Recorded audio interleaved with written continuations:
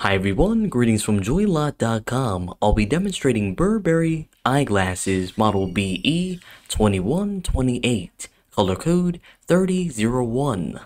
The color of the frame is black and it has a square shape. On its temples you'll find the Burberry logo.